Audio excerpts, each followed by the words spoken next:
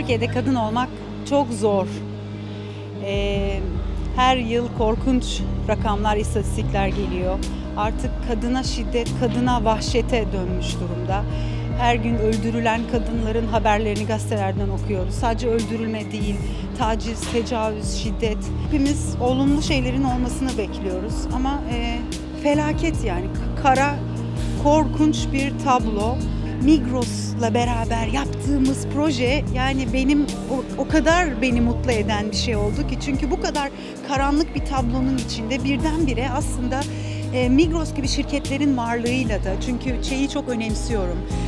Bu şirkette çalışanların yüzde 45'inin kadın olmasını, yöneticilerin yüzde 27'sinin kadın olması. Yani çok ciddi ve büyük rakamlar Türkiye için. E, müthiş gurur verici bir şey. Kadın eli deyince aslında e, hayatın ne kadar güzelleşebildiğini de onlarla insan görüyor ve e, hepsi birer rol model.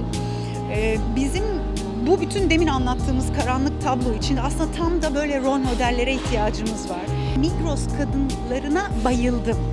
Onlar sayesinde benim bütün Migros'a bakış açım değişti. Yani hani insan bir şirketin genel müdürü, CEO'su anlatsa yine de bir şüpheye düşersin. Hani bir şey müdürü filan üst düzey. Ama onlar anlatınca böyle bir de yürekten yok böyle bir bağlılık. Yani şimdi mesela ben artık burada kasaya baktığımda gördüğüm kadınları ya da eti kesen kasap kadınların, e, şarküteride çalışanların, e, mağaza müdürlerine hep başka türlü bakıyorum. Yani Migros beni havada kazandı. Hatta ara ara şey oldum hani keşke ben de böyle bir şirkette çalışsam. Ben de kendi şirketimi çok seviyorum ama bu oranda bir e, kadın avantajlı durumda değil. O yüzden Migros kadınları beni çok etkiledi.